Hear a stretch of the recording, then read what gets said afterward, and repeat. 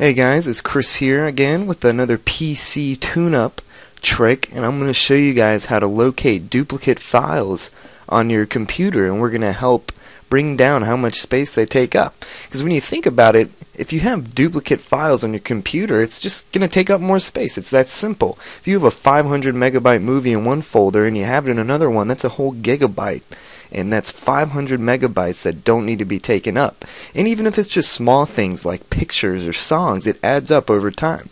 So we're going to use this program called Total PC Health, and you can get it at totalpchealth.com, compatible with Windows 7 and Windows Vista, and go ahead and download it for free. So I'm going to go ahead and launch it on my desktop. and this screen should pop up for you.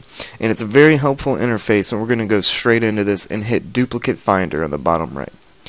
Now, basically, you just browse for where you want to scan, and of course, you can scan a whole drive if you want, which will take longer. So I'm just going to scan um, all the files in my folder called Chris, which is my documents, and it will scan all those folders in there. So I hit OK.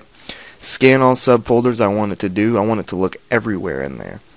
And then we're just going to click find duplicates on the bottom right and this program will go to work and it might take a little might not depending on how many items you have being scanned.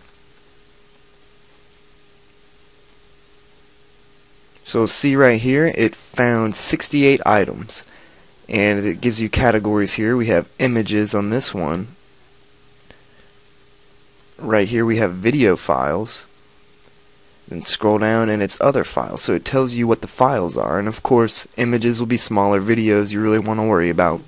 And very simply, you can um, hit open to view the folder and where that item is, or it'll show you what that image is. Uh, we can recycle that item, which will delete it essentially and get rid of the duplicate.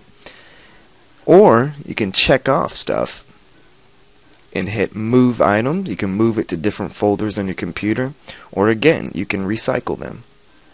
And you just want to go through and kind of clean things up because the more you clean things up, the more memory you have and the faster your computer will run. And once you're done, go ahead and click the done button down there. Alright, thanks for watching.